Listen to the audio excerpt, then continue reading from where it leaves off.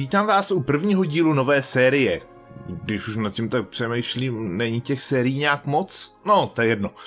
Tuto sérii jsem nazval Co, proč, kdy, kde, jak. Nebo také CPKKJ.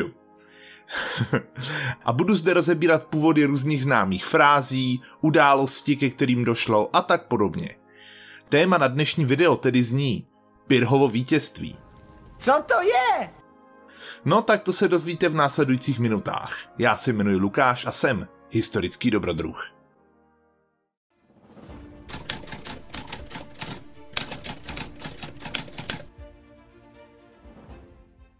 Terminus technicus Pyrrhovo vítězství označuje bitvu nebo jakoukoliv jinou událost, kdy bylo vítězství v ní vykoupeno takovými obětmi, že se vlastně dá mluvit o porážce.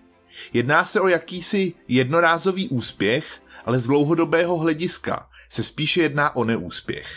Často je tento termín spojován i s dalším, který zní vyhrát bitvu, ale prohrát válku. Jak ale tento termín vlastně vznikl? No, tak na to se budeme muset přesunout zatím nejdále do historie, kam jsme se zatím s dobrodruhem podívali. Přesouváme se až do čtvrtého století před naším letopočtem, a sice na část území dnešního Řecka, nazývaného Epirus. Zde se asi roku 319 před naším letopočtem narodil syn epirského krále Pyrhos, později známý jako Pyrhos I. Epirejský. Jeho otec jej ale ve velmi mladém věku nechává vyhnat a tak se mladý Pyrhos dostává ke dvoru krále Glaukia v Ilírii. Ten jej po pár letech také adoptuje a nakonec se stává i jeho chráněncem. Glaukias se nakonec i se svým chráněncem v roce 307 vrací do Epiru a Spirha se stává společně s dalším vysoce postaveným šlechticem jménem Neoptolémos spolukrál Epiru. Avšak již za pět let proti Glaukiovi povstává opozice, která je vedená druhým spolukrálem a je z Epiru vyhnán. Pyrhos se tak ve věku necelých 18 let musí rozhodnout, co bude dělat dále. Abychom si ještě lépe dostali do děje, prozradím, že jen před 20 lety zemřel největší vojevůdce starověku, Alexandr Veliký. Obří říše, kterou vybudoval, se táhla od Makedonie až k Indii. Po jeho smrti přešla zpráva území pod takzvané diadochy, což byli Alexandrovi nástupci, jenž přebrali vládu na jednotlivých územích jeho říše. Mezi nimi ale brzy dochází k válce o moc. K jednomu z nich jménem Antigonos I. jednooký se právě přidává i náš hrdina. Diadochův syn Demetrius byl totiž Pyrhovým švagrem. Pyrhos se stává jedním z důstojníků v armádě a konečně začíná plně rozvíjet své vojenské nadání.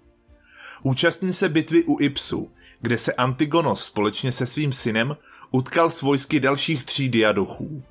Bitvu ale prohrávají a Antigonos sám v bitvě nakonec umírá. Pyrhos je následně jeho švagrem Demétriem poslán do zajetí egyptského krále Ptolemája I., aby tím upevnil jejich mírovou dohodu. Ptolemájos s mladým zajatcem zachází velmi dobře a brzy v něm začne objevovat jeho velké vojenské schopnosti. V kombinaci s jeho původem si ho Ptolemaios velmi oblíbí a v roce 297 před naším letopočtem se ji rozhoduje oženit s jeho nevlastní dcerou, princeznou Antigonou. Svůj vliv na to jistě mělo i to, že toho roku umírá makedonský král a Ptolemájův spojenec Kasander.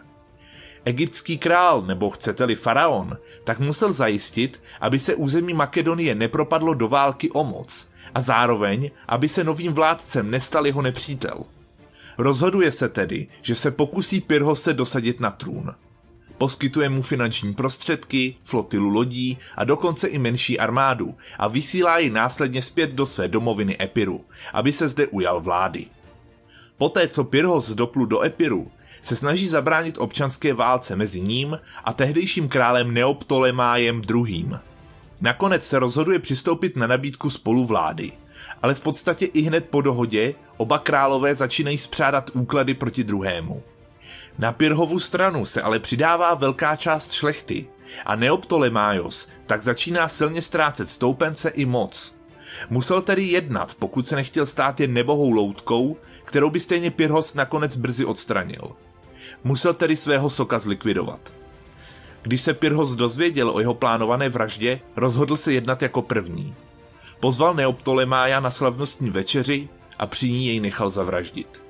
Jako jediný vládce Epiru pak Pyros začíná spřádat plány na ovládnutí celé Makedonie. O dva roky později, tedy roku 295 před naším letopočtem, umírá jeho milovaná žena Antigona. Na její počest a památku pak nechává vybudovat město Antigonia. Chvíli na to se i po druhé ožení s dcerou syrakuského vládce Agatocia. Zároveň v tomto roce činí Pyros i zlomové rozhodnutí a využívá toho, že jeho švagr a bývalý spojenec Demetrius právě obléhá Téby a vydává se obsadit řecké území Tesálie.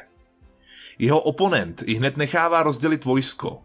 Menší část nechává pokračovat v obléhání Tép a s větší částí se pak osobně vydává vypořádat s Pyrhem. V této době si ještě Pyros nemohl dovolit velké vojsko a je tak silně Demetriovým vojskem přečíslen.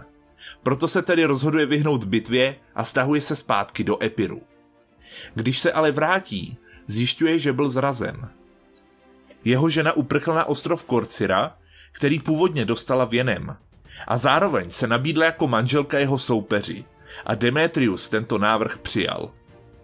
V roce 289 před naším letopočtem se Demetrius konečně odhodlal vypořádat se se svým švagrem. Nejdříve ale chce zničit jeho spojence, takzvanou Etolianskou ligu. Pyros i hned zvedá vlastní armádu a vydává se spojencům na pomoc. Demetrius tedy opět rozděluje svoji armádu na dvě části. Jednu nechává na území Etolianské ligy plundrovat a sám se vydává směrem k Epiru, aby se utkal s Pyrhem. Obě armády se ale minou. Těžko říct, jestli to bylo chybou nebo záměrem. Demetrius tedy začíná v podstatě bez jakékoliv překážky s rabováním Epiru. Pyros totiž zem nechal v podstatě nechráněnou, ale o to větší armádu si přivedl do Řecka. Nakonec se utkává v bitvě s druhou armádou, která je vedená generálem Pantachem. Pyrhos má k dispozici okolo 20 až 25 tisíc mužů. Jeho soupeř jen asi polovinu. Během boje se dokonce oba velitelé setkají na bitevním poli a dojde k souboji. V tom nakonec Pyros zvítězí a zraněného generála jen tak tak zachrání jeho osobní stráž. Pyrhova výhra v souboji ale silně namotivuje jeho vojáky a ti nepřátelské vojsko naprosto převálcují. Po vítězné bitvě se epirský král opět vrací do své země a dojednává příměří s Demétriem. Ještě toho roku ale Demetrius vážně onemocní a Pyros se opět pokusí o převzetí moci. Bohužel nakonec je opět nucen ustoupit před podstatně větším vojskem nepřítele. Tentokrát se ale už Demetrius chce alespoň nějak zabezpečit, že Pyrhos už nechá svých snah o jeho sesazení. A tak s ním tedy podepisuje dohody o spojenectví a oplátkou za ně mu uděluje část Makedonie. Díky tomu se Demetrius stává nejmocnějším diadochem a začíná opět obnovovat své snahy o dobytí ostatních království bývalé Alexandrovy říše. Zbylí diadochové se proti němu opět spojují a vysílají poselstvo i do Epiru. Pyrhův přítel, Ptolemaios I. z Egypta, tajně doufá, že si jej získá na svoji stranu. To se mu také nakonec povede. Pyros stále předstívá spojenectví s Demétriem. Poté, co však král opustí Makedonii, aby se utkal s Diadochy, zabodává mu Pyros nůž přímo dozad. Obsazuje velkou část země, na což Demétriovo vojsko reaguje velkou nespokojeností a nakonec něj donutí se vrátit zpátky stažení. Bohužel pro Demetria, i poté vojsko odmítá poslušnost a jeho velká část se přidává do služeb Pyrha.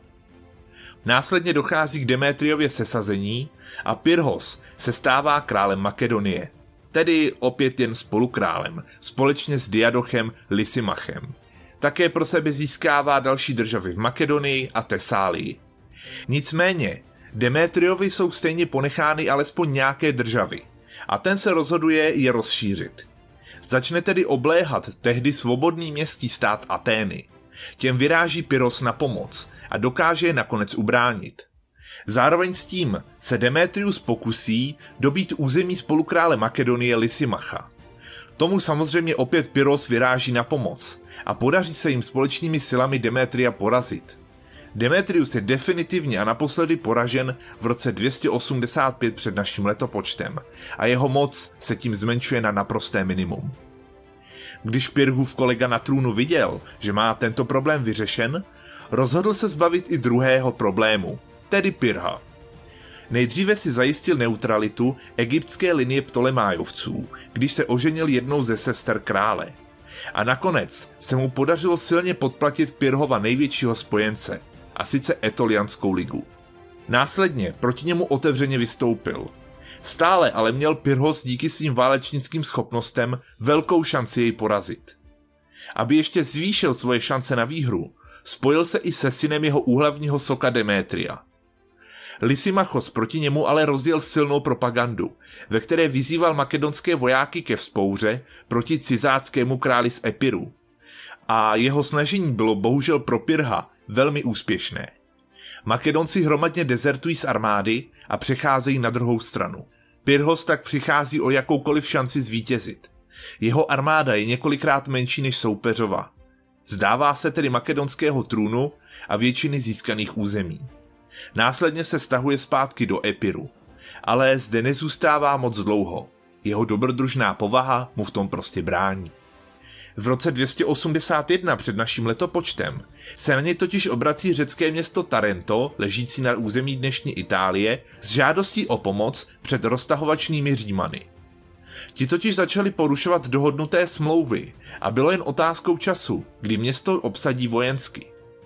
Pyrhos se po poradě s orákulem v Delfách rozhodl přijít na pomoc.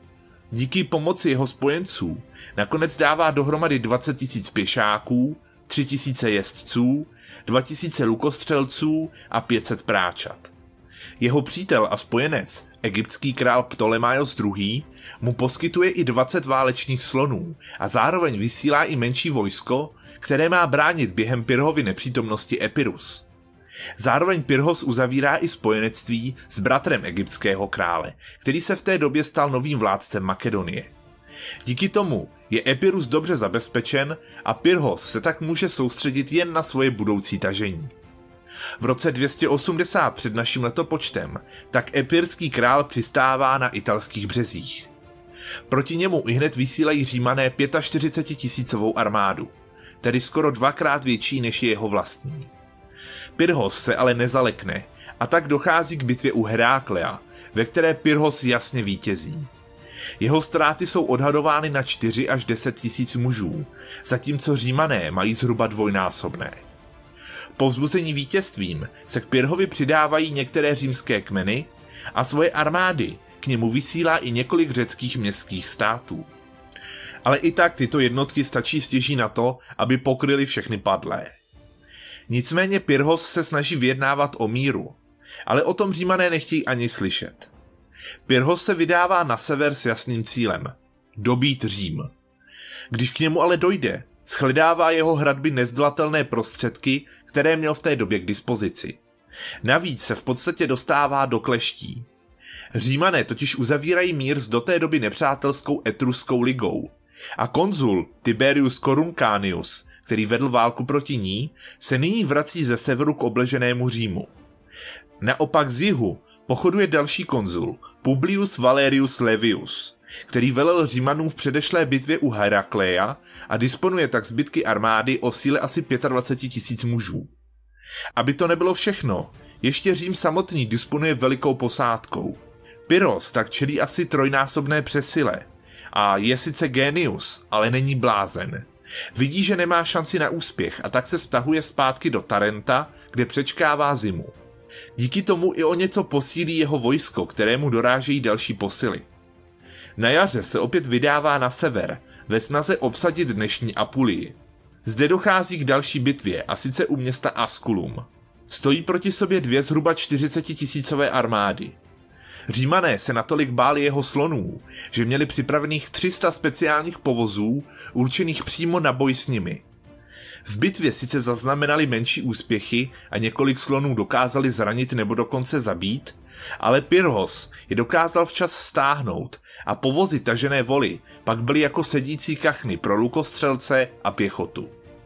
V bitvě se také ukázalo, že dlouhými desetiletími bojů vyšperkovaná řecká falanga má stále o něco navrh před římskou legií. Tento fakt se ale už v budoucích letech měl velmi podstatně změnit.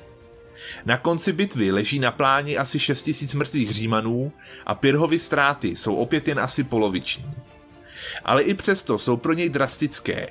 Na rozdíl od Římanů totiž nemá možnost svoje vojsko doplnit. Navíc některé ze vzbouřených římských kmenů opouštějí jeho armádu. Pyrhos tajně doufal, že toto vítězství povede k další vzpouře římských kmenů, ale bohužel pro něj se tak nestalo. A právě po téhle bitvě, poté, co mu velitelé gratulovali k výhře, pronesl památnou větu. Ještě jedno takovéhle vítězství a budu ztracen. A právě z této bitvy a autora této věty vzniká dnes tak známý termín Pyrhovo vítězství. Abychom se ale vrátili zpět. Pyrhos si byl vědom, že nemůže již doufat v úspěšné dobytí Říma, ale jako na zavolanou v roce 278 před naším letopočtem získává dvě nabídky. Tou první je prozba řeckých měst ze Sicílie, aby z ostrova vyhnal Kartágince a následně se stal jeho králem. Druhá nabídka je makedonský trůn. Jeho spojenec a přítel z rodu Ptolemájovců totiž zemřel v boji s Kelty. Pyrhos se možná trošku nerozumně rozhoduje pro Sicílii. Zde se mu ale úspěšně daří porážet Kartágince, stejně jako předtím Římany. V roce 277 před naším letopočtem dobí Erix, největší pevnost na ostrově. Začínají vyjednávání s Kartáginci o míru. Ti mu nabízejí velké výkupné, pokud se stáhne z ostrova. On naopak požaduje, aby se z něj stáhli Kartáginci. Jednání tak samozřejmě stroskotají a tak, aby Pyrhos posílil svůj vliv na ostrově, rozhoduje se dobít i poslední velkou pevnost Kartága, a sice Lilibeum. Toto město také následně obléhá, ale brzy se ukazuje, že město nejde dobít, pokud nebude z moře provedena blokáda. Na to ale Pyrhos nemá dostatek lodí a tak začne ze sicilských měst vybírat peníze a zdroje na stavbu flotily. Tohle je jeden z mnoha kroků, kterým proti sobě postaví sicilské řeky. Pyrhos byl možná velmi dobrý stratég, ale jako vladař už byl spíše podprůměrný. Všechny problémy nakonec vyústily v to, že nechal sicilská města vojensky obsadit. Tím přetekl pohár, nebo chcete-li, utrhlo se pomyslné ucho Učbánu. Sicilští řekové začali vyjednávat s Kartáginci a ti vyslali novou armádu na osvobození Sicílie. Tu však Pyrhos relativně hravě porazil. Zdálo se, že Lilibeum musí padnout. Pak ale dorazily zprávy z Itálie. Řecká města, která dokázal osvobodit, byla Římany znovu dobyta, tedy až na jediné Tarento. Pyrhos se rozhoduje, že dojde svému spojenci na pomoc a vrací se tak zpátky na Apeninský poloostrov.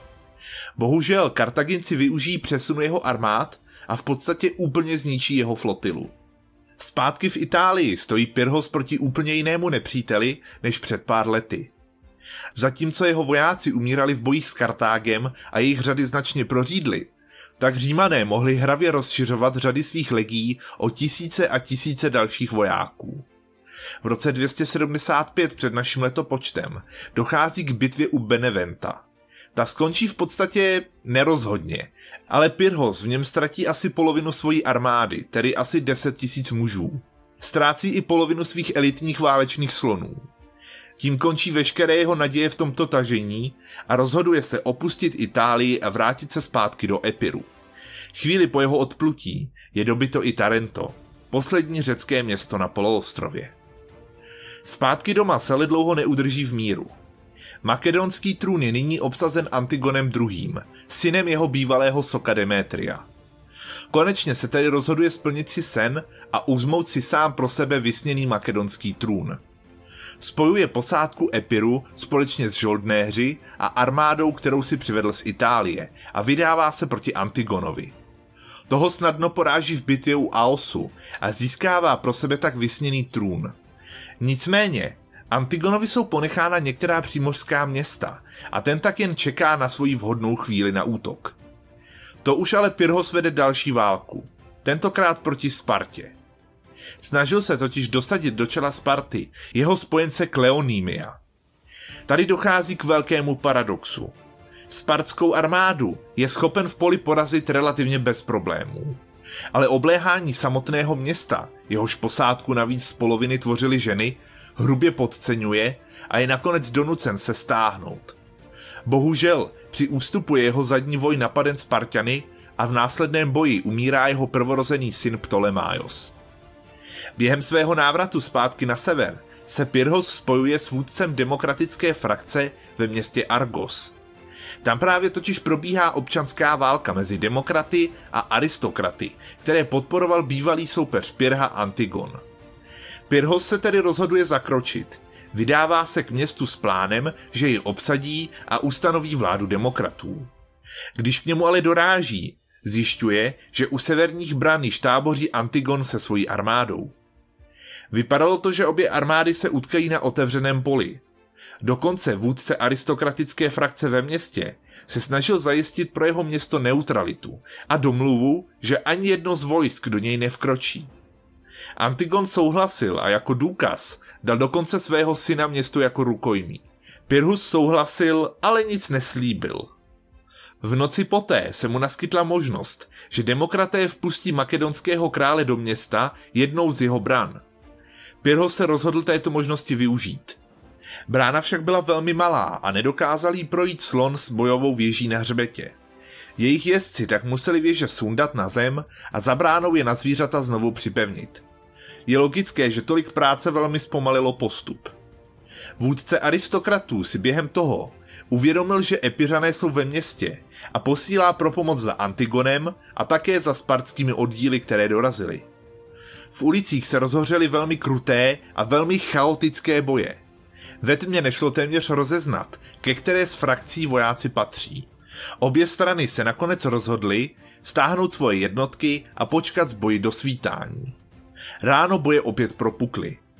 Nyní si Pyrrhus uvědomil, že ztratil zcela moment překvapení a že daleko lépe svoje vojsko využije na otevřeném poli. Rozhoduje se tedy, že se z města stáhne a bitvu vybojuje před hradbami. Věděl ale, že by jej při ústupu zbytečně brzdila brána a tak vysílá posla za svým synem Helénem, který velel druhé polovině vojska, jenž zůstala před městskými hradbami. Vzkazoval mu, aby rozboural bránu a vytvořil tak lepší ústupovou trasu. Tady ale dochází k těžkému nedorozumění. Posel buď zprávu špatně předal, nebo ji on nebo Helena špatně pochopili. Místo, aby pak dal Pirhův syn rozkaz k rozbourání brány, dal rozkaz k tomu, aby se i zbytek vojska přesunul do města. Dochází tak k chaosu na druhou. Ustupující oddíly Epiřanů jsou tak náhle zezadu tlačeny dalšími a dalšími přicházejícími druhy. Nastává hrozivá tlačenice. Zdá se, že situace pro Pirha už nemůže být horší. Bohužel, jak se říká, když se něco sere, tak se sere všechno.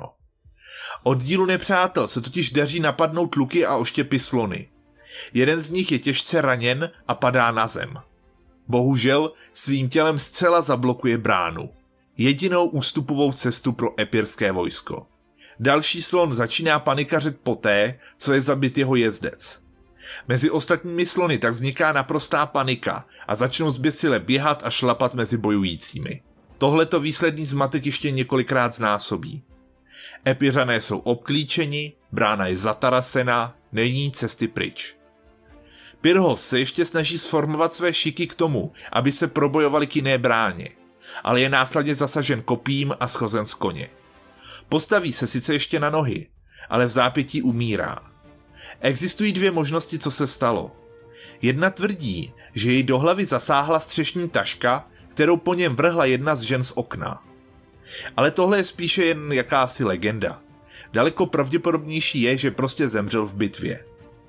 Po smrti jejich velitele se Epiřané vzdávají.